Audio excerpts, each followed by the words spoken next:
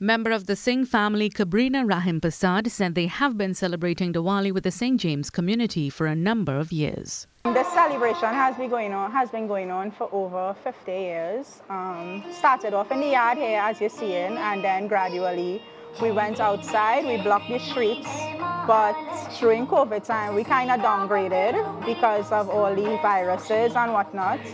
And this year, we kind of went back outside, as you were here last year, so you saw it was on a smaller scale.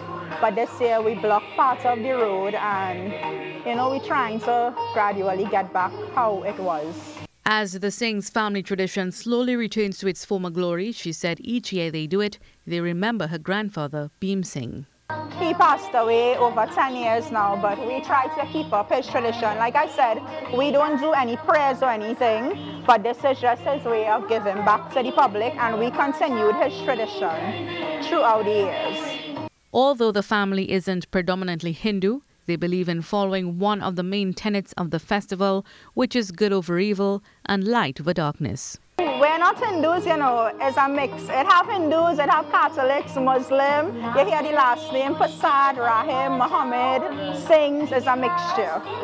But this is his way of giving back, so we just try to continue to make him proud. I mean, just seeing how everybody is happy when they see the streets light up and they get food and, you know, it's something we always do, we always give. It's not just around Diwali time because you can come back for Christmas and it'll be the same thing. Same amount of food, same amount of people.